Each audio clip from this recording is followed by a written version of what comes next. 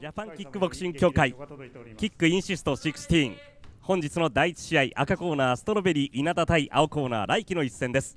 この試合解説は元 WKBA 世界スーパーフェザー級チャンピオンの蘇我英樹さんです。どうぞよろしくお願いします。よろしくお願いします。さあストロベリー稲田が今日がデビュー戦そして青コーナーの来輝が今日が2戦目ということでともにフレッシュな選手が登場してまいりましたね。はいそうですね。本日の第1試合54キロ級笑顔も見えて、えあのデビュー戦っていうことなんですけどすごいリラックスしてるからストロベリーそうですね、はい、まずは犠牲館のストロベリー稲田17歳今日がデビュー戦です。ボブスポーツジム沖縄所属来季そして青コーナーはボムスポーツジム沖縄来季21歳です。デビュー戦は今年の3月19日だったんですがその時には眉をカットしまして試合続行不可能ということで悔しい TKO 負けを喫したという試合がありました。今日の試合がプロ2戦目の青コーナー来季です。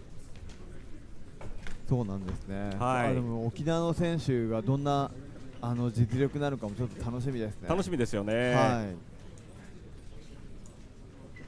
さあ今日の試合がプロデビュー戦になります。赤コーナーのストロベリー稲田。もちろんプロ初勝利。このデビュー戦で勝利を飾ってというプロの戦いに足を踏み入れていきたいところ。そして青コーナーの来季はプロ初勝利を目指す戦いということになります。第1ラウンドが始まりました。54キロ54キロ契約3分3ラウンドの一戦です。赤いグローブ赤いトランクスが赤コーナーのストロベリー稲田そして黒いトランクスゴールドのベルトラインが入っています青いグローブが来季です来季はオーソドックススタイルそしてストロベリー稲田はサウスポースタイルに構えていますまずはこのストロベリー稲田はデビュー戦ですけれどもいいミドル蹴っていきましたね。そうですね。えー、しっかり相手見て、はい、上下の内訳と。多分あのアマチュアとかも結構やってるんじゃないかなっていう感じですね。構え、それからリラックス、表情の見て、そういうふうに感じますか？試合感がやっぱりしっかりしてるのと、えー、あとやっぱあの距離感がやっぱり分かってますね、はい、マッチで、まあ、サウスポーっていうのもあるんで、はい、距離を取るのがすごいうまいとは思うんで、えー、やっぱり自分から無理する感じじゃなく、ちゃんと自分の距離を分かった上で、しっかりミドルもローも。した上下打ち分けして、はい、はい、うまいですね。この辺りはストロベリー稲田がミドル、それからローをしっかりと蹴り分けていくという第1ラウンド始まりになっています。ここはワンツーから前に出ていきましたライキー。だからあのカウンターの左のストレートが狙ってるのかなっていう感じですね、強引に入ってきたところに対して。でもライキ選手はそれ以上にガンガン攻めていった方が、えー、あ飛び膝を狙っていきましたライキです。ドルを蹴っていった稲田に対しまして飛び膝を出していきましたライキだからあとは首相撲の展開でどこまで、はい、えー、来季選手がやれるのかなっていうところですね。そうですね、はい、どうしてもガンガン中に強引に入ると首の展開になるんで、えー、そこでやっぱりあのストロベリー選手の方が首相撲が強いと、はい、やっぱり難しいですよね、遠い距離でも、ね、蹴りがうまいし、えー、近くなったら首相撲うまうまいってなると、もうパンチとローの蹴り以外距離以外で戦うことができなくなっちゃうんで。これあのストロベリーエネダとしてはデビュー戦ですけれどもその首相撲だったりっていうのは経験の差っていうのは出てくる部分ですか？やっぱりありますね、まあ、どういう練習をしているかっていうのもあるんですけど、はい、やっぱりムエタイのスタイルだと思うんで、えー、もう結構タイとかに練習行ったりとかする選手も多いから、はい、そういうのを経験してるとやっぱり首相撲すごい強いです。ですね何かこうデビュー戦ですけれども非常に落ち着いた試合運びしてますよね。そうですね。すごい落ち着いてるんで、えー、やっぱりそれぐらいのあ強烈なボディですライキです。今のボディは、ね、左のボディが入りましたライキ。ここは肘もいっていい縦肘を埋まっていきましたライキです。ここやっぱりストロベリー選手、クリズも、えー、うまそうな感じあるんで、ただやっぱライキ選手、フィジカル強そうなんで、はい、結構パワーでなんとか続けるっていう感じです。ここはハイキックを出していきました今田。第1ラウンド終了です。あいい試合ですね、えー、ジャパンキックボクシング協会キックインシスト16本日の第1試合54キロ契約3分3ラウンドの一戦です。赤コーナーがストロベリー稲田17歳今日がデビュー戦。そして青コーナーの来季は21歳。今日の試合がプロ2戦目。デビュー戦は悔しい TKO 負けを喫しました来季プロ2戦目ということになります。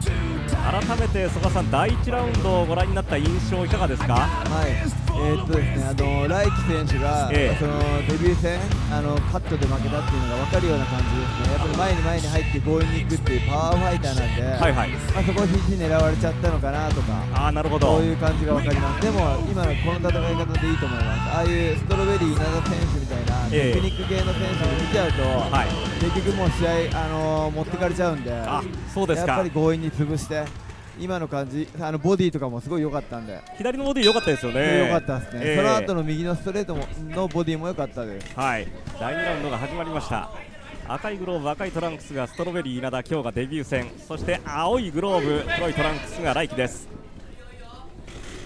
まあ、第1ラウンドから稲田もいいミドル、ローをしっかり出してますよね。そうですね、えー、だからポイムエタイ的なポイントでいうと、えー、ストロベリー稲田選手の方が、まあ、ちょっとポイント取ってるのかなとかって思っちゃう感じあります。そうですか、はい、やっぱりミドルの当て方がうまいんで、えー、やっぱりああいうミドルをきれいに当てることがポイントになったりするんで、ムエタイの場合は。はい。ガードの上からでも当てていった方が印象いいですよね。そうですね。やっぱり印象とやっぱり距離感を制してるっていう感じになるんで、はい、やっぱり落ち着いた試合運びだしテクニックがやっぱりあるなって思います。ジャパンキックボクシング協会キックインシュスト16首相撲あり肘ありルールでの戦いということになります。まあ、第1ラウンドでは来季が肘も出していきましたよね。そうですね、えー、ただやっぱりこのプロのリングってなるとここはローブロー。そうですね。こういうのとか、えー、やっぱりアマチュアの試合とちょっと違う部分があるんで、はいそのこのプロの洗礼というか、まあまあ、今のはまあちょっと、ね、金的なでローブローになっちゃったんですけど、えー、まあ、この辺がねやっぱりプロのリング緊張するところでもあるんで。そうですね、はい、オーソドックスとサウスポーですからどうしてもそのローブローが入りやすくなってしまいます。そうですね。それはもうどうしても、えー、これはもうしょうがない部分でもありますよね。しょうがないって言っちゃうとあれなんですけど、えー、まあ、まあ、よくあるよく入りやすくなってしまっていると。そうですねこう体が開いている方向が同じだけにどうしてもそういう場面が少し多くなってしまいます、はい、特にやっぱりローキックを狙う選手の場合は、えー、やっぱり多くなっちゃいますよね。そうですよね、はい、こういったこうローブローが当たってしまった後というのはしっかりとこう時間を取ってこう回復に努めなければいけませんよね。そうですね、えーここは荒井ローフローが入ってしまいましたが、でもやっぱりガンガンここでいかないとだめですね。えー、さあ第2ラウンド1分切りました。あ1分が経過しました。少しローフロー気にしているか稲田。あ飛び膝。ここで組んでいきます稲田。失礼来輝です。来輝がここは距離を潰していきましたこの距離を潰していく戦い方どうですか？そうですね、まあ、ただ、やっぱり首相撲がその後にできればいいんですけど、えー、どうしても首相撲の展開になると、あのー、ストロベリー稲田選手の方がちょっと上なんで、はい、これパンチの距離で、あいいあここはこういう狙っていく、そしてボディここで入りすぎちゃうと組まれちゃうんで、えー、パンチの距離を保ちながら、パンチからローキックにつなげたりとかですね、はい、パンチで攻めていった方が。いいと思います。ストロベリー稲田もいいミドルを返していきます。ただここはオーバーハンドが右。そして右。右2発入れていきました。ライチです。そして右ストレート。この右入りますね。そうですね。やっぱり、ライチ選手が距離感なんとなくもう分かってきた感じになってるんでそうですか。右の当て方が上手くなってきますね。ここはパンチで前に出ていきます。ライチです。今日の試合がプロ2戦目プロ初勝利を狙っていくライキ組んでいく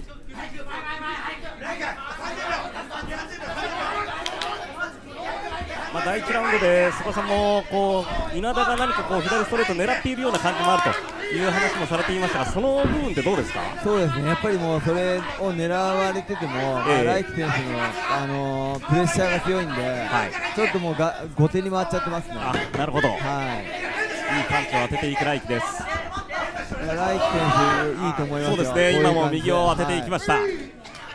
逆にだから稲田選手がもうちょっと入れ入れすぎちゃってる感じになっちゃってますね。はい。第2ラウンドが終了しました。本日の第1試合。54キロ契約3分3ラウンドの一戦です。ストロベリー稲田デビュー戦。そして来季がプロ。2戦目の対戦。第2ラウンドが終了しました。戸田さん第2ラウンドはどういった印象ですか？第2ラウンドはもう完全に来季選手がプレッシャーのかけ方がもう分かってきて、えーちょっと肘とかカウンターとかも恐れてないっていう感じでくるんで、はい、それが逆にいいいい攻撃になってあそうですか、はい、プレッシャーに押されてますね、あの稲田選手が。パンチが来季第2ラウンドはよく当たるようになってきましたよね。そうですね。もう自分の距離がなんとなく分かってきてあ入れるなっていうのが分かったから、はい、もう結構恐れずにあの攻めていけてるんでだから3ラウンド目にそれをカウンターでどうあのストロベリー稲田選手が狙うかっていう展開になると思いますね、ここは。ストロベリー稲田としてはどういう戦い方が必要になってきますか？やっぱり肘とか膝でカウンター合わせるのがいいのかなと思います、まあ、この第3ラウンドも来季はどんどん前に出ていきますよね。そうですね、えー、そこをどう捕まえることができるか稲田。水相撲の展開になっていきます。そして膝を出していくのはストロベリー稲田。レフリーが一旦割って入りました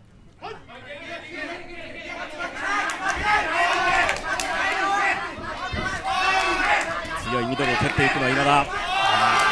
左ストレート、えー、いく、はい、狙われてます、ね、そうですね、はい、あお互いに。ライキも肘を返していきます。このハイキック稲田。大胆なこと出し続けています。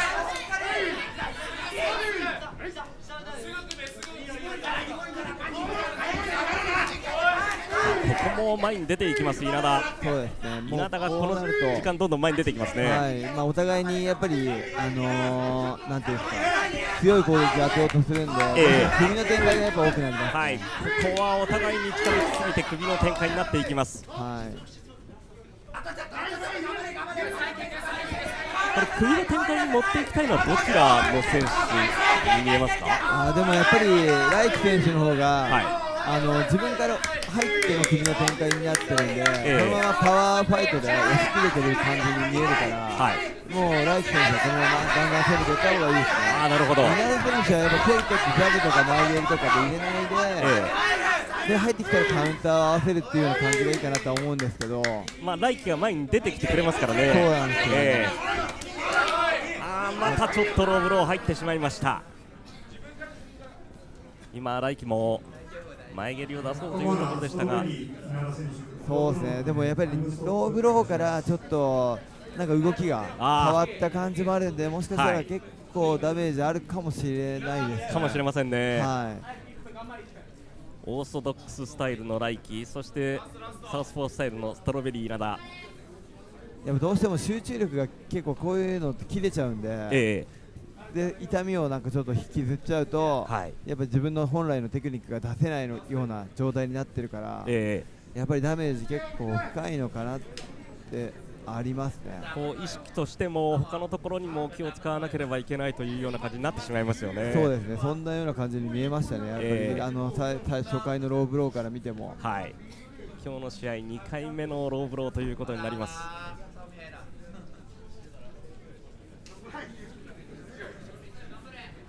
まあ、当然、選手たちはファールカップはつけているんですけれどもその上からでもかなりの衝撃になるわけですよね。そうですね、えー、ファールカップしててもちょっと衝撃が強いんで、はい。はい、あでもここでやるやりますね。そうですね、はい、残る時間が第3ラウンド1分13秒。はい、キック返していくのは稲田。ただ強い右ストレート来季です、はい、来季のファンと上下に打ち分けていきますね。そうですね、えーもうラストなんであっとここでまた当たってしまった。残り時間が第3ラウンド1分を切ったところ。あー蹴る返していきます稲田。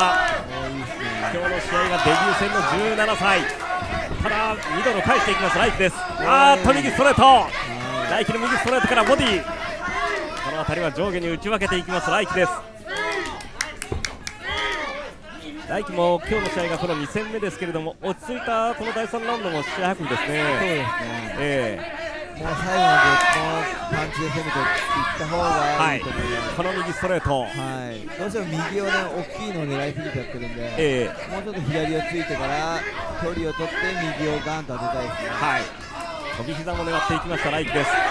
残り時間が第3ラウンド10秒切っていく。右飛び込んでいきましたライキ来季も、まあ、今日の試合当たっているだけに右ストレートそして肘最後出していきました。ここで第3ラウンド終了です。新宿フェイスで行われていますジャパンキックボクシング協会キックインシスト16本日の第1試合です。判定難しいですね。どうなるのかなそうですね、はい、その決定的なダメージを与える打撃という部分では両選手どうですか？うんやっぱり右の強引なストレートがライキ選手のが結構当たってる感じはあったんですけど、はい、ポイント的にあの見ると青コーナーライキああ、ということで判定の結果、青コーナーの来季に軍配が上がりました。はい、28来同じくシーナここもねやっぱ難しいところですけどねやっぱりローブローがあってのっていうのもあるんで、まあ、その中でよくストロベリー稲田選手も頑張ってすごい頑張って、えー、やりきったと思います。まあ、今日の試合がデビュー戦17歳ということですから、まあ、これからが楽しみな選手ではありますよね。そうですね、えー、ここで、まあ、でも最後まで試合もあの途中で投げ出さないでやりきったっていうのもすごい良かったことなんで、まあまあおあの負けちゃいましたけど、えー、次につながる試合だとは思います。あのミドルキックなんかはかなり力があるようにも見えましたがどうですか？そうですね。すごい綺麗に距離感も取るのうまかったんで、はい、まあ、1ラウンドの攻め方を2ラウンド、3ラウンドっていう風な感じで見たかったんですけどあなるほど、はい、そうですね、まあ、あのだからローブローがあって、えー、落ちたのかそれでもライキ選手のプレッシャーが強くなって、はい、止めれなくなっちゃったのかそこがちょっと分からないところですがそうですね、まあ、でも今後楽しみですね、お互い2人とも。本日の第1試合ストロベリー稲田対来季の一戦は来季が判定勝利を収めています。